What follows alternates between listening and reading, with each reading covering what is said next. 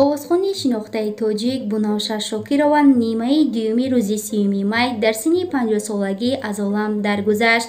Вақтҳои охир бунавша шокирова дар бемористони қараболо таҳти табобат қарор дошт.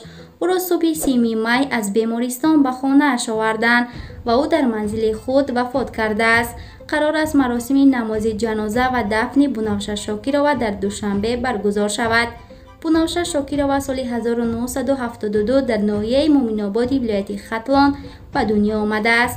Ӯ солҳои тӯлонӣ дар ансамблҳои ганҷина ва дарё ҳунарнамоӣ мекард. Бештар бо иҷрои таронаҳои мардумӣ шӯҳрат ёфта буд. Чанд соли охир бунавша шокирова дар филармонияи давлатии тоҷикистон кору ҳунарнамоӣ мекард